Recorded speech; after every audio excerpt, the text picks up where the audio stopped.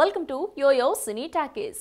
బులితెరపై anchor అయిన వెండితెర రేంజ్లో గ్లామర్ లుక్స్తో ఆకట్టుకుంటుంది రష్మి. అప్పుడప్పుడు సినిమాల్లో బోల్డ్గా నటిస్తూ అందరినీ అట్రాక్ట్ చేస్తుంటుంది. ఇక ఇంటర్వ్యూలలో కూడా రష్మి అదే తరహాలో బోల్డ్ కామెంట్స్తో షాక్ ఇస్తుంటుంది. ఎలాంటి రూమర్స్ వచ్చినా వాటికి ఎండ్ కార్డు పడేలా రష్మి కరెక్ట్గా కౌంటర్ వేస్తోంది. తారలు చాలా వరకు సోషల్ మీడియానే వారి ప్రధాన ఆయుధంగా మార్చుకుని రూమర్స్పై క్లారిటీ ఇస్తుండటం స్పెషల్ అట్రాక్షన్గా నిలుస్తోంది. ఇక సామాజిక అంశాలపై అలాగే రూమర్స్పై కూడా ఎవరికి నచ్చినట్లు వారు కమెంట్స్ చేస్తుండటం తెలిసిందే. రష్మి కూడా అప్పుడప్పుడు కాంట్రవర్సీలపై తనదైన శైలిలో కామెంట్ చేస్తూ హాట్ టాపిక్ అయ్యేలా చేస్తుంటుంది. టిక్ టాక్ వచ్చిన తర్వాత మనుషుల జీవన శైలిలో ఊహించని మార్పులు వచ్చాయనే చెప్పాలి. లైకుల కోసం ఎంతో దారుణంగా ప్రవర్తిస్తున్నారు. రీసెంట్గా గా ఒక వ్యక్తి పోస్ట్ చేస్తున్న వీడియోపై కూడా రష్మి తీవ్ర ఆగ్రహం వ్యక్తం చేసింది.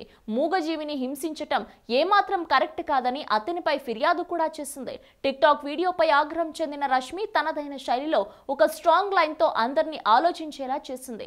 అసలు మ్యాటర్లోకి వెళ్తే ఒక వ్యక్తి కుక్కను నీళ్ళలో పడేసి దారుణంగా ప్రవర్తించాడు. ఆ మూగజీవి కష్టపడి ఎలాగలా ఒడ్డుకెక్కి చేరుకుంది. ఆ సన్నివేశాన్ని వీడియో తీసి అతను టిక్టాక్లో లో పోస్ట్ చేయగా రష్మి ఆ వీడియోని పోస్ట్ చేసి అందుకే కదా మానవ జీవితం అంతరించిపోతోంది అని కమెంట్ చేసింది.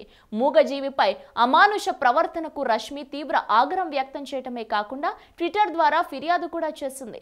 జంతు ప్రేమికురాలైన బీజేపీ నేత మేనకా గాంధీని ట్యాగ్ చేస్తూ వెంటనే అతనిపై చర్యలు తీసుకోవాలని వివరణ ఇచ్చింది. హలో మిమ్మల్ని సినీ సెలబ్రిటీస్ రియల్ స్టోరీస్ ఏంటో తెలుసుకోవాలనుందా? లేటెస్ట్గా రిలీజ్ అయ్యే మూవీ రివ్యూస్ నేను చెప్తే వినాలనుందా? ఇంకెందుకు ఆలస్యం? యోయో సినీ టాకెస్ని సబ్స్క్రైబ్ చేసుకోండి. బాయ్!